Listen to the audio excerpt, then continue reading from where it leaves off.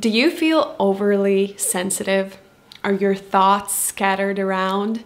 Does it seem like no matter what you do, you end up where you started? Well, there's a big chance that the universe might be trying to tell you something.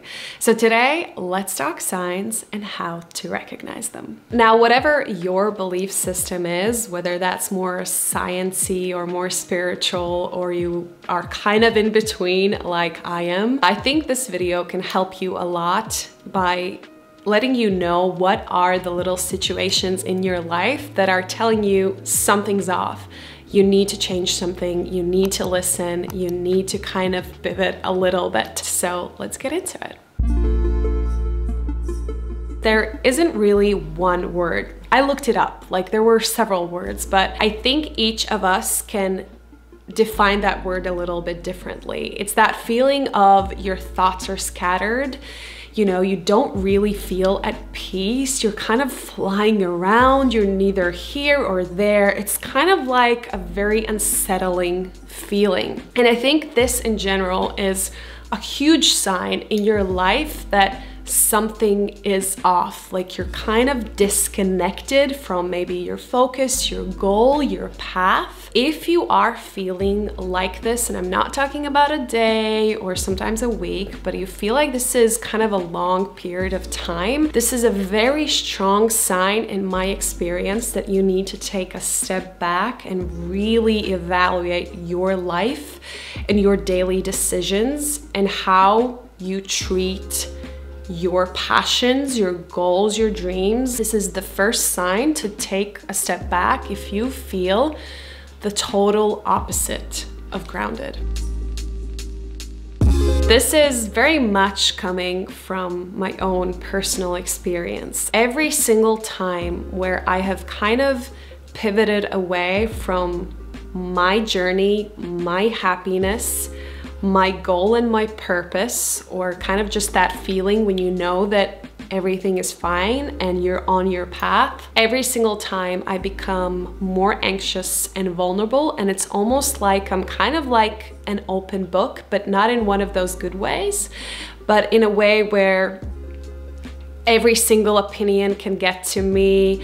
You know, little things make me cry. I feel just too vulnerable. And I think it happens, especially, as I said, when we pivot away from where we're supposed to be. Again, everything, take everything into context because human emotions are very, very complex. If there has been a tragedy in your life, obviously you will be sensitive. If let's say you are on your period, you're a woman, you're on your period, you will be hypersensitive. So take things into context. I think as women in general, you know, I can't speak for men, but I can speak for women. If we follow what our intuition, we can feel that something is off. I use the word, you know, universe, I use the word intuition, um, but a lot of these things also are kind of like logical. If you're not that spiritual or you don't really believe in all of that stuff, you can also just look at it from a logical side. If you are sensitive a lot, if you're crying, that is a sign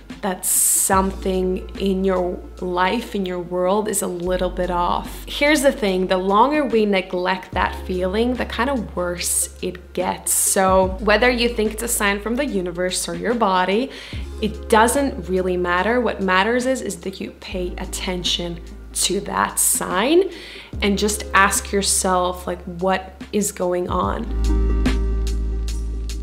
This is a very interesting one and I actually first learned about it as a concept from my dad. I think it was, I don't know, a, a long time ago, but he told me, he said, if there are several situations in your life where just weirdly, no matter what you do, let's say you have a specific idea or a goal, you want to go somewhere or reach something, and no matter what you do, you keep being hit with these very weird things where you just you can't reach it no matter what you do it might be a big sign that you're not doing what you're supposed to do. And here's where i want to be perfectly clear because i think it might be confusing for some people.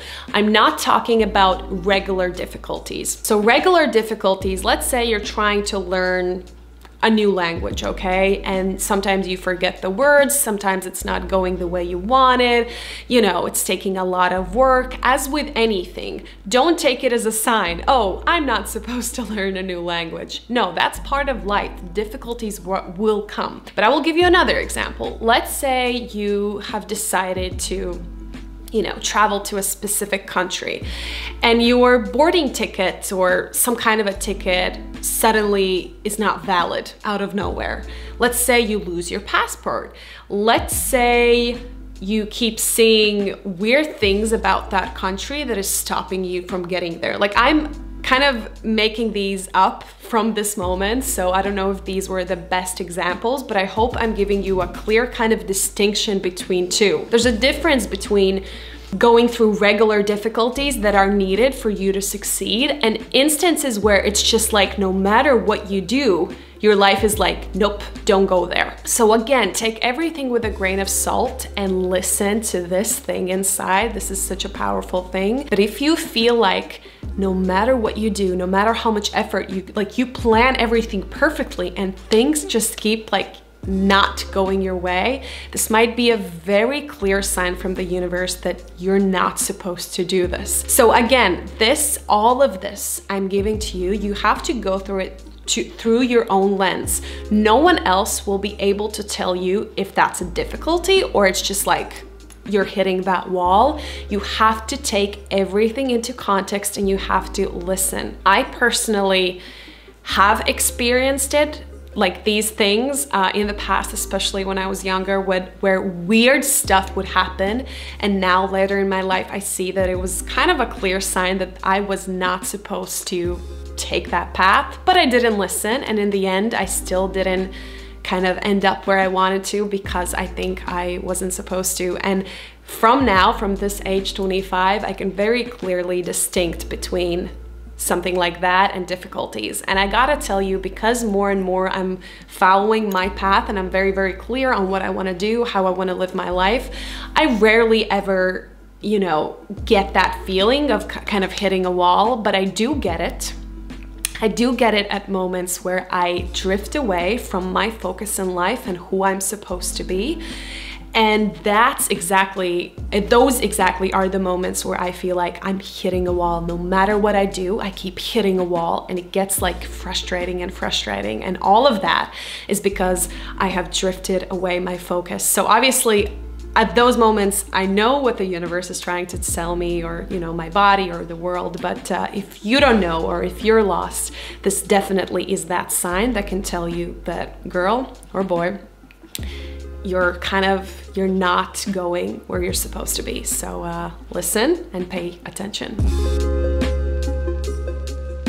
You can add logic to everything, always. You've probably seen the movies, you know, thrillers or horror movies, and the main character is like, this is happening and this is happening, and their friend or a boyfriend always has a logic explanation for everything. But again, this is where your heart plays a bigger role. If you feel like just weird stuff is happening, like weird coincidences. This actually goes back to the travel thing I mentioned, you know, just weird stuff that are kind of like happening at the same time. You thought about something, you know, you mentioned something, you see it immediately. Not always you have to go as big as the universe. Sometimes it's basic intuition, you know, basic psychology. When you feel something is not okay inside, um, but you don't want to kind of admit it consciously, you will sometimes see it like around on TV or hear about it or whatever because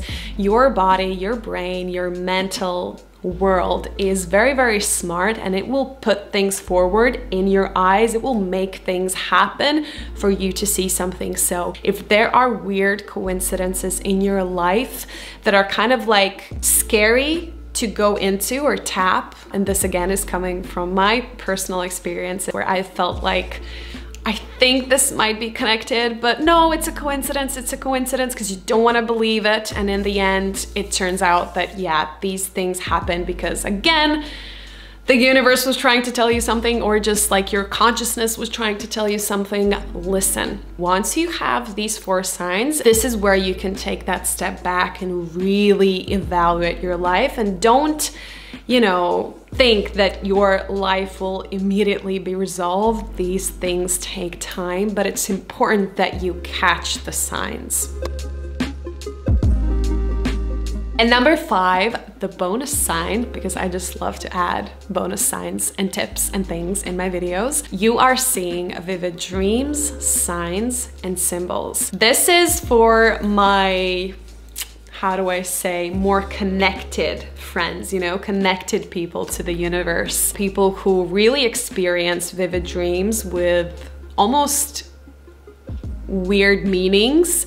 Um, and by weird, I mean like things that you know, you can later see in life, but you see in your dreams, you know, like little kind of paranormal stuff as well. If you're seeing symbols, if you're seeing signs, again, you can play this from the logical side, you can play this from the universe side, but it doesn't matter because it's all about how you interpret it, you know? Even if it's your psychology playing tricks on you, it means that something is bothering you inside if you're seeing that outside. Let's say there's a specific number that means a lot to you and uh, for specific reasons again and you're suddenly seeing it everywhere does it matter if it's the universe sending the number or it's your consciousness? It doesn't matter because the result is the same, which is it's coming from somewhere inside of you and it's trying to tell you that something needs to be addressed, something needs to be rearranged or moved. So here's your little bonus sign. Pay attention. Dream symbols, signs, none of that is random. It's all about how you look at those things. Let me know in the comments if you've experienced any kind of signs from the universe that you feel like are signs, okay? Let's not get, again, logical. There's always a logical side in my brain that's like, oh, it's just psychology, it's not universe, it doesn't matter. If you feel like it's the universe, then it's the universe. So let me know. I definitely want to hear some interesting stories if you have them. Thanks again for watching. I hope you found this video valuable and interesting, and I will see you next time. Bye.